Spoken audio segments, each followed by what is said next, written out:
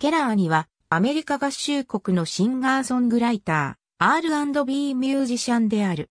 ライブの様子2015年にリリースしたミックステープ You Should Be Here が注目を集め、第58回グラミー賞の最優秀アーバンコンテンポラリーアルバム賞にノミネートされる。2016年、クレイジー、ギャングスタといった曲がヒットし話題となった。2017年、デビューアルバム、スイートセクシサベージをリリース。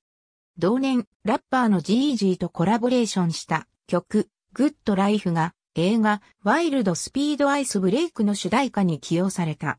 同年のサマーソニックに出演し、共演した G-Eazy と共に初来日を果たした。2020年、2作目のアルバム、It Was, Good Until It Wasn't をリリースした。1995年にアメリカのカリフォルニア州オークランドで出生。母親は麻薬中毒で苦しみ、刑務所で暮らしていた。父親も幼い頃に麻薬中毒で亡くなったため、祖母に育てられた。10代の頃にダンスを覚え、地元のグループポップライフに加入していた。ジュリアード音楽院に入っていた頃に膝を負傷し、本格的に歌手を目指した。クイアを自称していたが、2021年にレズビアンであることをカムアウトした。スタジオアルバムミックステープ。